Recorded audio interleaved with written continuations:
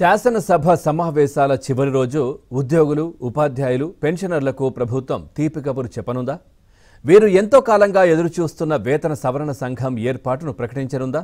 అంటే అవుననే అంటున్నాయి అధికార పార్టీ వర్గాలు.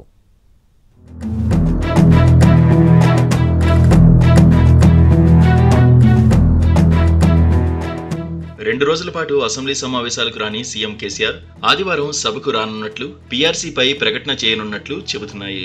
ఇప్పటికే వివిధ వర్గాలకు సంబంధించి ముఖ్యమంత్రి కీలక నిర్ణయాలు ప్రకటించిన నేపథ్యంలో పీఆర్సీ విషయంలో కూడా ప్రకటన చేస్తారని ఉద్యోగులు ఆశాభావంతో ఉన్నారు.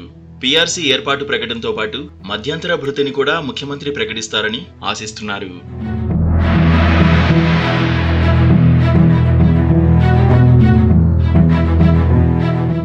తెలంగాణ రాష్ట్రం వచ్చాక ఏర్పాటైన మొదటి పీఆర్సీ కాలం ఈ ఏడాది జూన్ ముప్పైతో ముగిసింది.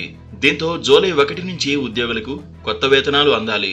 కానీ ఇప్పటి వరకు పీఆర్సీని ఏర్పాటు చేయకపోవడంతో వేతనాలు పెరగలేదు. పర్యవసానంగా రాష్ట్రంలోని ఉద్యోగులు ఉపాధ్యాయులు పెన్షనర్లు తీవ్ర ఆవేదన చెందుతున్నారు.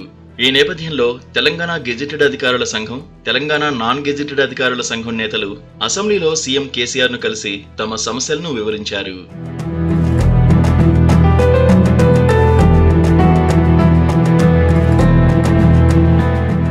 పీఆర్సీని ఏర్పాటు చేయాలని సిపిఎస్ను రద్దు చేయాలని ఉద్యోగుల ఆరోగ్య పథకం అమలు తదితర డిమాండ్లను ముఖ్యమంత్రి దృష్టికి తీసుకువెళ్ళారు.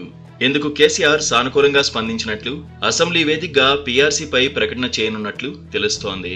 రాష్ట్ర శాసనసభ సమావేశాలు గురువారం ప్రారంభం కాగా సీఎం ఆ ఒక్కరోజు మాత్రమే హాజరయ్యారు. ఇటీవల మృతి చెందిన కంటోన్మెంట్ ఎమ్మెల్యే సాయన్నకు సభలో సంతాప తీర్మానాన్ని ప్రవేశపెట్టి మాట్లాడారు.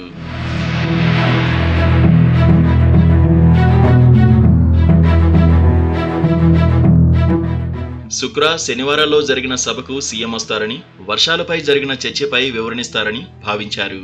కానీ ఆ రెండు రోజుల్లో సభ వైపు సీఎం కన్నెత్తి చూడలేదు. కాగా ఆదివారంతో సమావేశాలు ముగుస్తాయని భావిస్తున్నారు. ఈ చివరి రోజు సీఎం సభకు వచ్చి ఉద్యోగుల సమస్యలపై స్పందిస్తారని పీఆర్సీ ఏర్పాటు చేస్తున్నట్లు ప్రకటిస్తారని అంటున్నారు. అయితే పీఆర్సీ ఏర్పాటుతో పాటు ఐఆర్పై కూడా ప్రకటన చేస్తారన్న ఆశాభావంతో ఉద్యోగులు ఉన్నారు. పీఆర్సీని ఏర్పాటు చేసినా ఇప్పట్లో నివేదిక ఇచ్చే పరిస్థితి ఉండదు. ఆ నివేదిక వచ్చే వరకు ఫిట్మెంట్ను ప్రకటించే వరకు ఐఆర్ను అమలు చేయాలని ఉద్యోగ సంఘాలు కోరుతున్నాయి. ఇక ఇటీవల కురిసిన వర్షాలు వరదలపై కూడా ముఖ్యమంత్రి మాట్లాడే అవకాశం ఉందని అంటున్నారు. ముఖ్యంగా పంట నష్టం ఎంత జరిగిందన్న వివరాలను వెల్లడించవచ్చని చెబుతున్నారు.